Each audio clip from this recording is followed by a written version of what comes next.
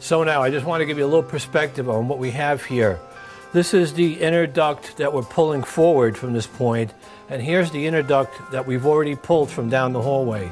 And what we're going to do is, I, I want to show you what this looks like coming down the hall over here.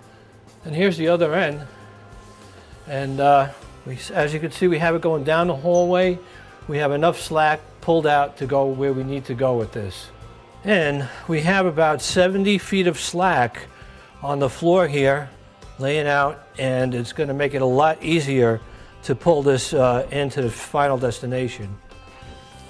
And we're going to double back to 70 feet to the point where we're going to continue to pull it from.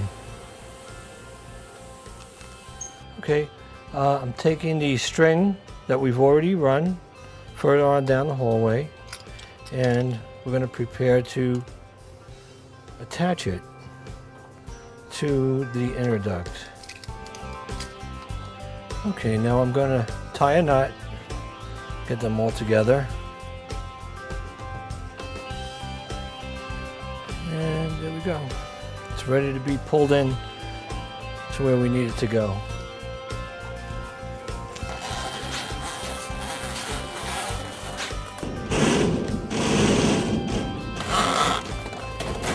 Okay, Phil. All right, and we're all in now.